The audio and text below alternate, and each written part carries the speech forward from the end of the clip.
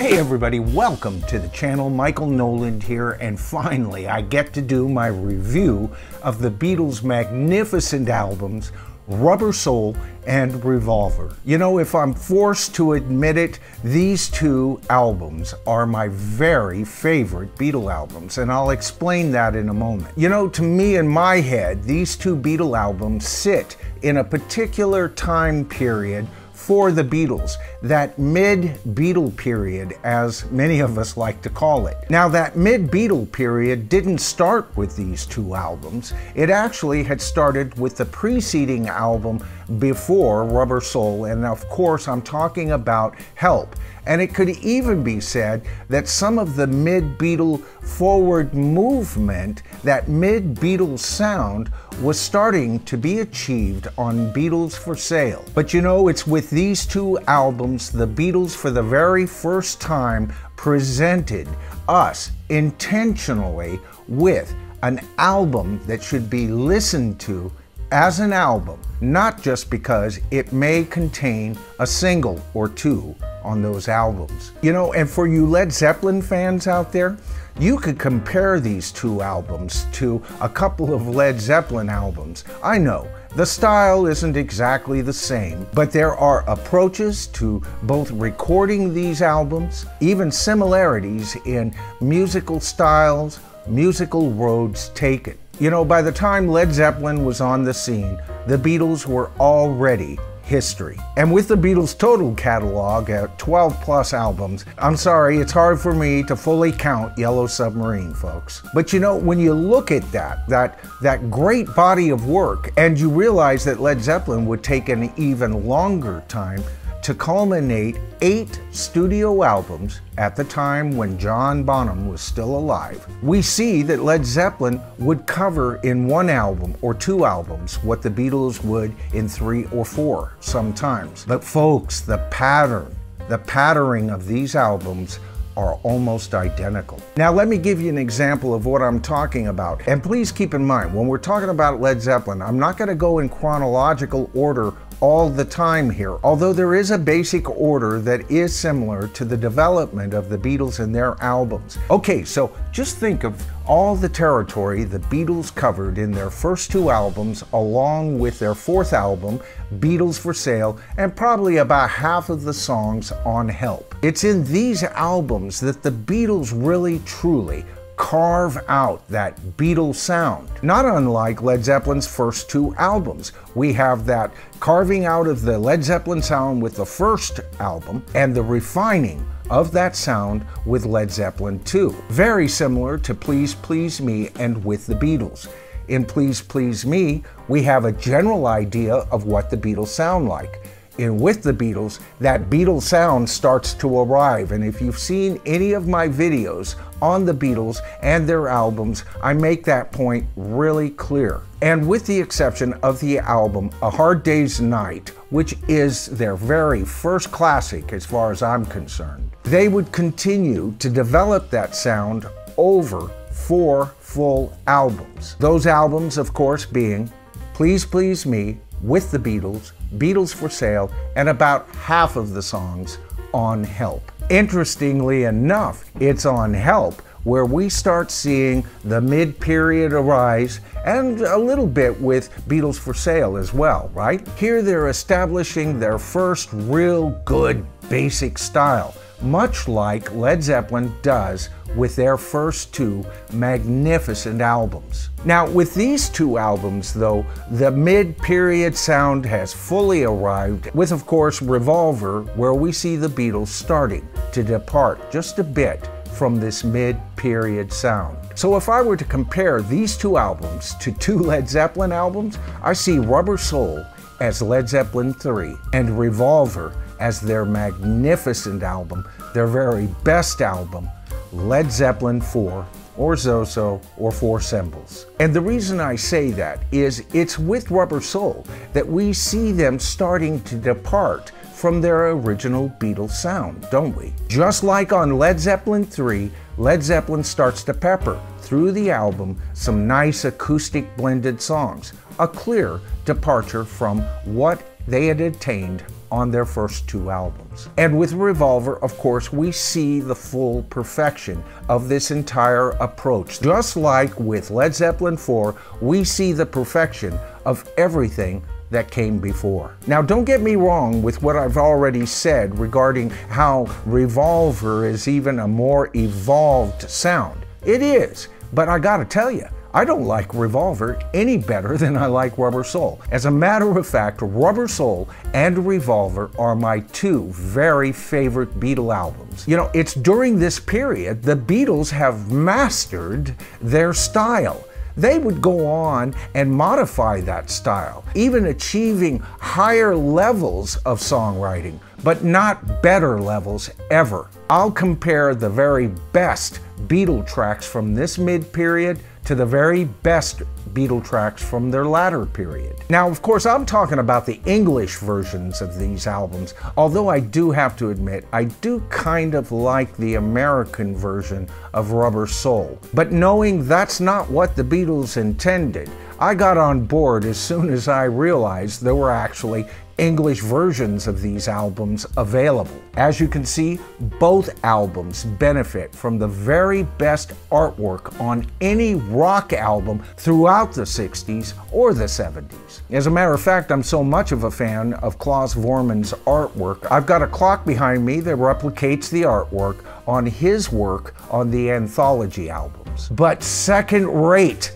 compared to Rubber Soul, this is my very favorite rock album cover of all time. Yes, even over Sgt. Pepper's Lonely Hearts Club Band, and yes, even over the magnificent artwork that I discussed in my last video of Houses of the Holy by Led Zeppelin. Now, why do I feel this way? Well, partly, the Beatles never looked this good ever again in another photograph, as far as I can tell. All four Beatles look at their very best, man. And as a young teenage fan, when I saw this album, all I wanted to do was look like any one of the Beatles. I'd be happy for the rest of my life. Of course, the photograph isn't a true representation of what the Beatles actually looked like. You see, this is a cover by Robert Freeman, who did all of their covers up to this album, this being his very last album,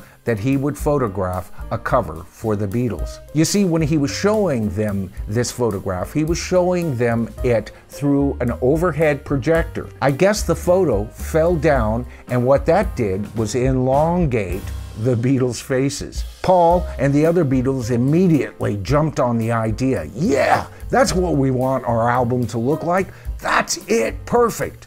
And so, with a little bit of photography trickery, Robert Freeman shot what is, in my opinion, rock's preeminent rock cover. But once again, just like what I mentioned about Houses of the Holy with Led Zeppelin, this is not an empty promise. This isn't just a great album cover. The material, the songs, the explorations on this album are absolutely marvelous and just as groundbreaking as the changes that Led Zeppelin provided us with their third magnificent album. Now, there's another thing I want to bring out here.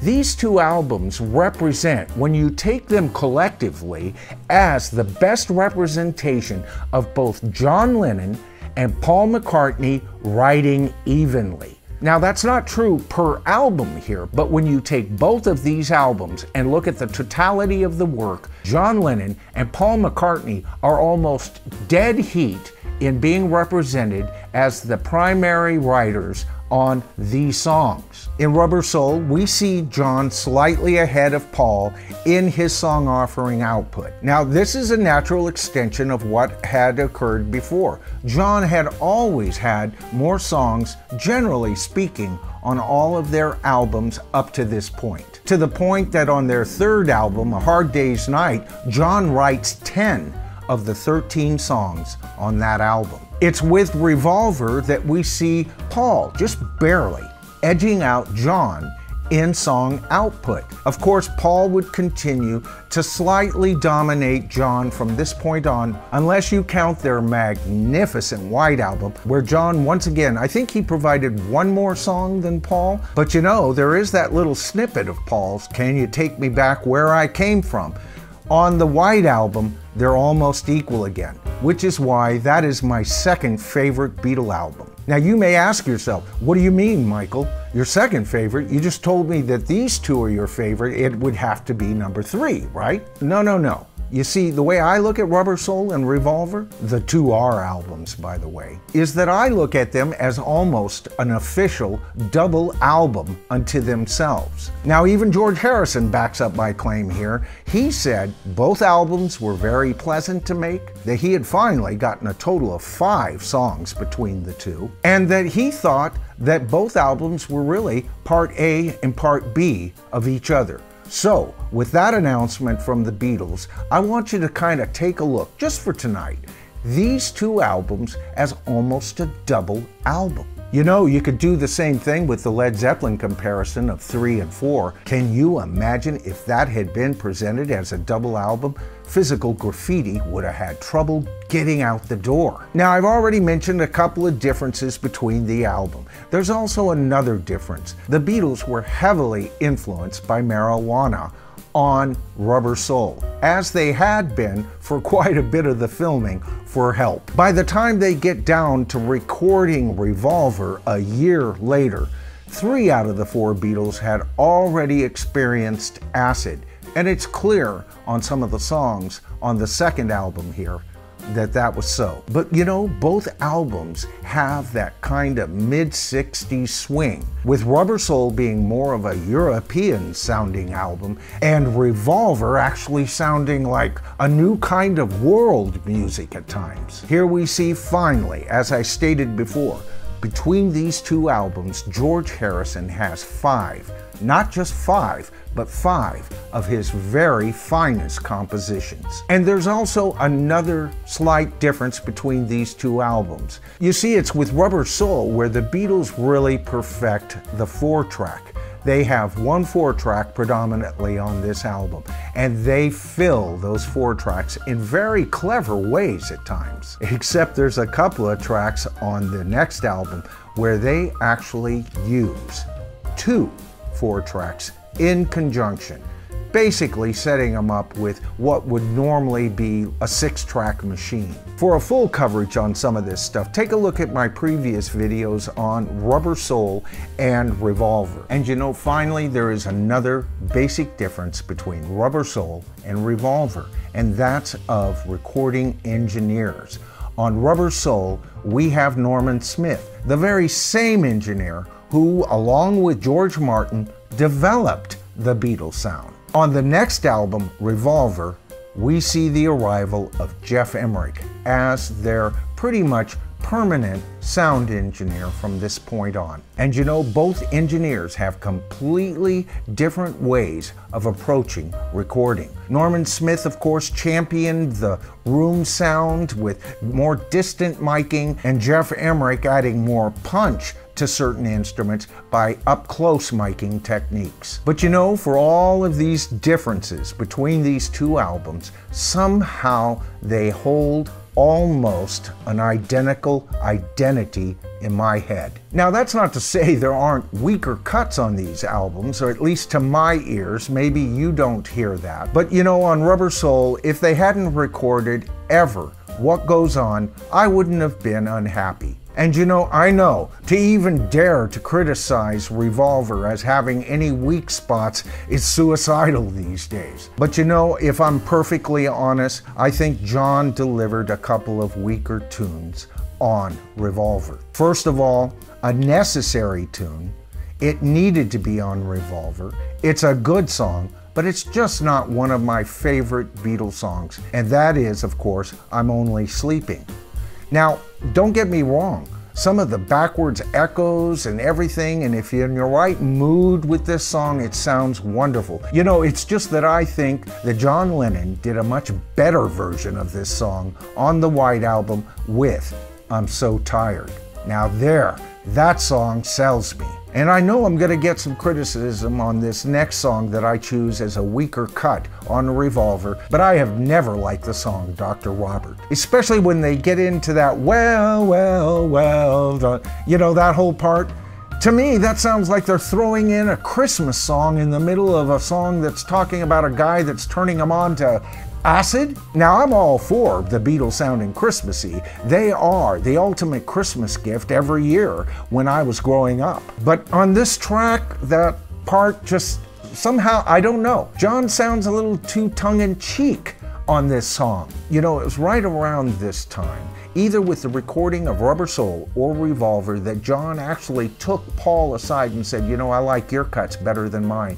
And I've always suspected he was talking about Revolver. But you know, if they had even taken those two tracks off the album, I think John is still very well represented on this album. First of all, the magnificent She Said, She Said, based on a very uncomfortable conversation he had with actor Peter Fonda. But you know, it's this song where we see John Lennon at his very best, his free thought grasp of the lyrics. You know, I've talked about how Robert Plant was excellent at this, just developing lyrics almost in a way that he's just expressing the song in the same fashion that he talks. I love that approach to songwriting. And of course, if you've seen any of my videos, you all know that my favorite Beatle track of all time is the magnificent Eleanor Rigby. And you know, talk about free flow lyric writing.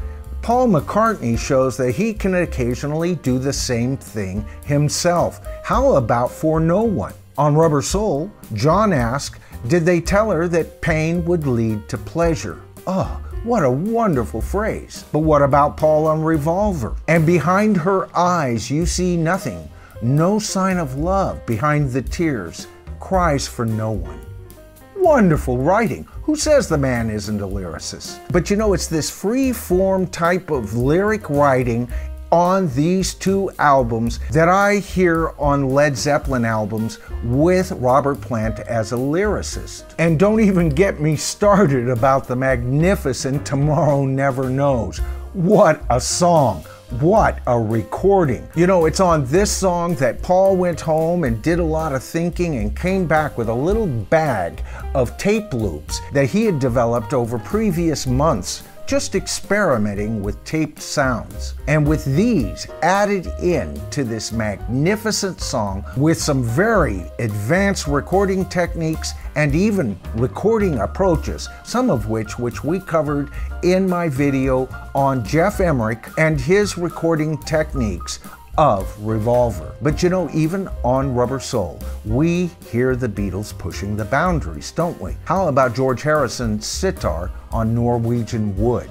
How about the lyrics suggesting that the character within the song sets the woman's house on fire? A suggestion, by the way, from all people by Paul McCartney. On both of these albums, we really start to see Paul McCartney opening up and broadening as a songwriter. From Good Day Sunshine to Got to Get You Into My Life, a song he dedicated to Pot, to songs with very serious lyrics concerning what would become eventually his breakup with his longtime girlfriend, Jane Asher. Now, of course, on the first album, we get two wonderful songs by George Harrison if not dour songs. Think for yourself and If I Needed Someone. But on both of these songs, we see that George has really starting to arrive as a songwriter here, and this fact only hinted at in the previous Help album. And on Revolver, he gets three songs.